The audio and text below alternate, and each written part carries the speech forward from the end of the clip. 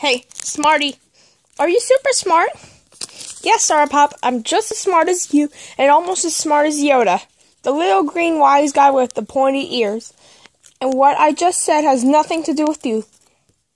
So if you were to ask when Christopher Columbus discovered America, I would say 1492. Not 1592. You have to minus a hundredth. That's how you get 1492. And by the way, where's Nicky? Oh wait, I don't know. Maybe he's in Disney World. Oh wait, he is.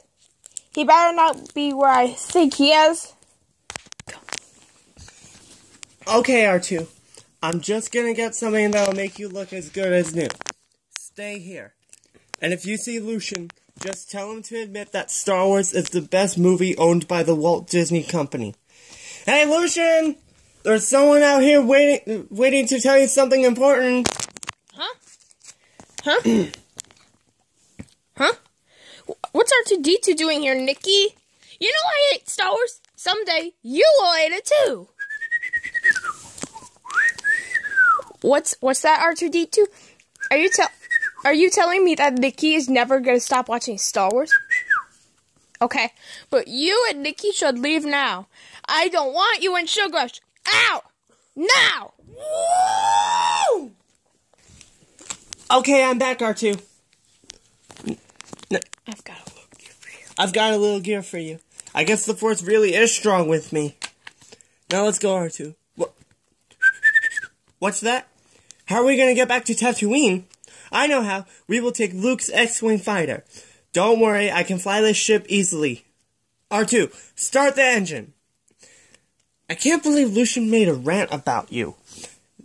That was the that was the worst video he's ever made. Yes, R2, I can understand you just fine. And I can understand Chewie, too. Sour Pop, come here. I don't want to be mean, but you can't make your brother hate Star Wars. Why else do you think R2D2 follows him everywhere he goes? And both your films and their and the, and both your films and their films uh, will start another revolution if you keep hating Star Wars. It'll be like the Boston Massacre in the 1700s. Then Kylo Ren would take over Sugar Rush. Then before we know, it will, it you'll you'll be kicked out, and the racers won't mean anything.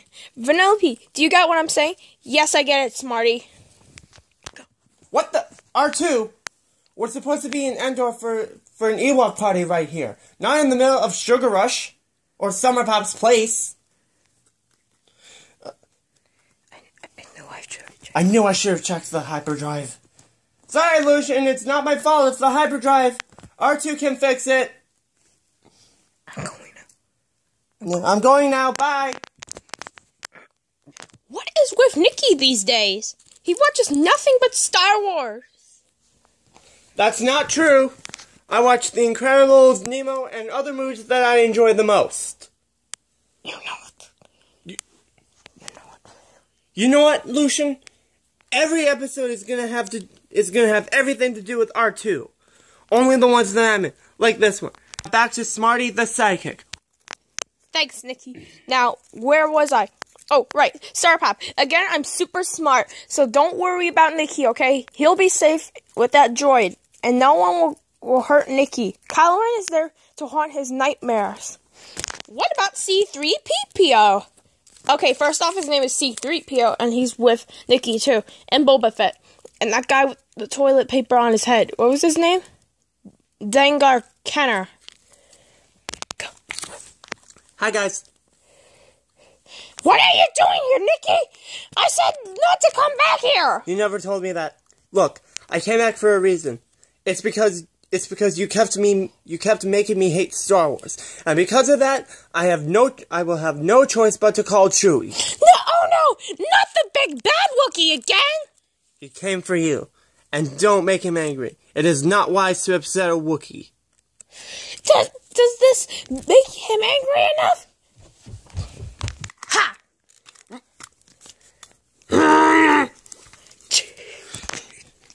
Chewie. Chewie, you're naked. That's why you wear that bandolier around you, so you don't get naked. Lucian, give Chewie his bandolier right now. I didn't have to. Yes, you do. That's it. Summer Pop is gone, and Kylo will now take over Sugar Rush. I've heard Hey, Smartie. I've heard everything Smartie said earlier. Right, Right? Smartie? Right, right, Nikki.